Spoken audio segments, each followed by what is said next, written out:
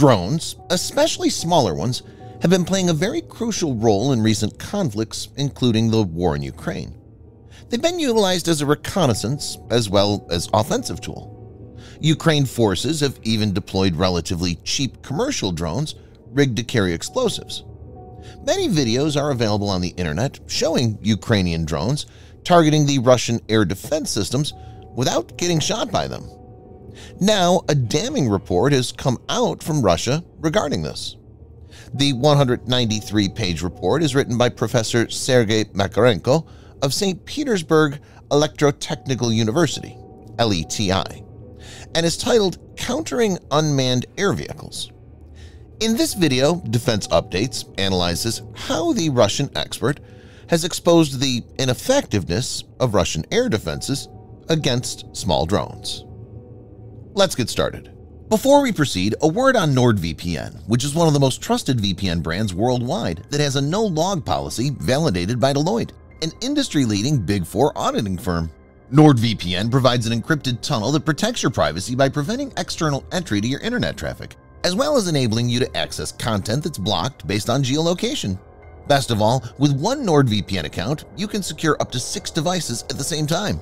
Get an exclusive NordVPN deal with massive savings by going to nordvpn.com/defense or clicking the link in the description. It's risk-free with Nord's 30-day money-back guarantee.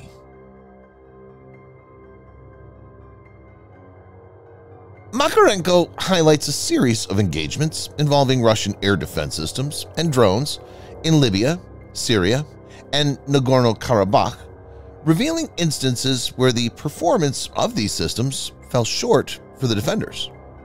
The report looks into the effectiveness of anti-air defense systems available to Russian forces. According to Professor Makarenko's findings, these air defense systems prove ineffective when confronted with drones. He emphasizes that the touted advanced features of these systems, as advertised by the developers, are not fully confirmed in practical scenarios.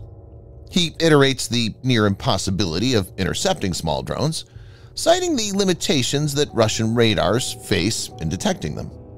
As these tactical radars are specifically designed for fast-moving jets and are less adept at tracking small, slow-moving targets. The report has specific insights on Pantsir S-1 mobile air defense, Tunguska self-propelled anti-aircraft gun, Tor SAM, Strela 10 tracked vehicles, and Igla S. Let's now check the issue with each of the key Russian air defense systems. Makarenko writes, the results of field tests showed that the target detection radar of the Tor air defense system provides detection of small UAVs at ranges of only 3 to 4 kilometers. Therefore, the Tor air defense system is unable to detect drones until they're in close proximity, making it difficult to effectively engage and shoot down the unmanned vehicles. This limitation explains how Ukrainian drones can approach Russian systems closely and capture videos. The report also adds, the practical experience of experimental firing at small targets with Tor indicates the low efficiency of their destruction. The main reasons for this are the imperfection of the SAM warhead detonation control system, as well as large errors in target tracking and SAM guidance on small-sized UAVs.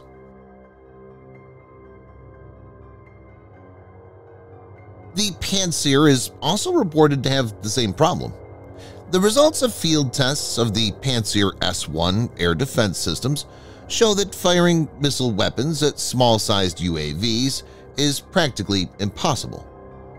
When the system detects a drone, it's inside the minimum missile range, making it impossible to intercept. Makarenko says, the other problem is that these air defense systems must fire ample ammunition to bring down a small drone. The use of cannon armament of these 3PKs against small-sized UAVs is fundamentally possible, but due to the small size of the UAVs, the probability of their defeat is low. Viewers may note that the Pantsir S-1 combines short to medium-range surface-to-air missile and anti-aircraft artillery in a single platform. During a 2020 test, a group of four Pantsir systems fired at a slow-moving drone. Despite launching multiple salvos, they were unable to destroy it. Similarly, Tunguska faces the same issue, requiring a substantial amount of ammunition to stand any chance of hitting its target. Makarenko states, When firing at mini-UAV of the Aquila type with cannon weapons at a distance of 3 kilometers, to achieve a value of the conditional probability of hitting a target equal to 0.5, it is necessary to expend from 4 to 13,000 shells. The Tunguska boasts a remarkable firing rate of 5,000 rounds per minute from its two cannons. However, it's equipped with only 1,904 rounds in total. Taking this information into consideration, for a drone to stand a 50% chance of being hit, it would need to remain within range for the Russian air defense operators to exhaust their ammunition, reload, and repeat the process.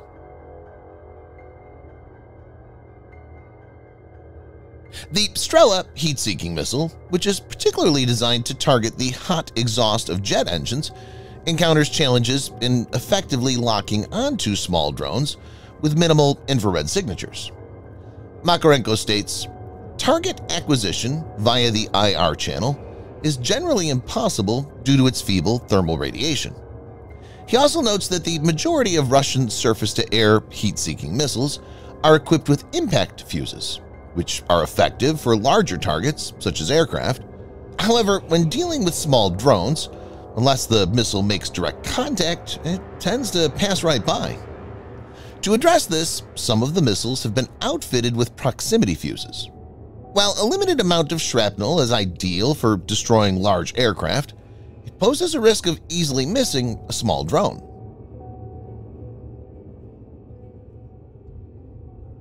The Igla, NATO reporting name SA-18 Grouse, is a Soviet-origin surface-to-air missile system.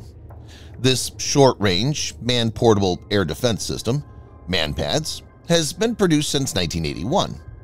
The S variant is the latest one that uses a dual waveband infrared seeker. But even the newest Igla is known to have limited effectiveness against targets that have low IR signatures.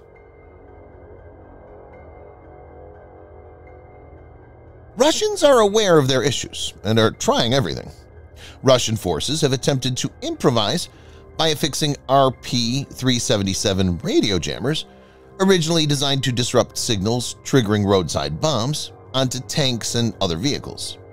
The objective was to interfere with these signals controlling fast-moving first-person view drones. Unfortunately, the makeshift solution proved to be of little use. Given the fact that drone technology is evolving fast and drone swarms are becoming a reality, the report paints a grim picture. Professor Sergei Makarenko states, the number of simultaneously fired targets is limited to three for the Pantsir S-2 air defense missile system and four for the Tor M2 air defense system. In this case, the targets being fired simultaneously must be in the viewing area of the guidance radar.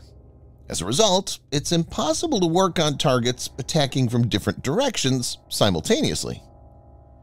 It's evident that there's no quick fix. It'll be interesting to see how Russia responds. Subscribe for more days. videos like this. Hit the like button if you find the video interesting, and kindly provide your feedback in the comment section. This will help us improve.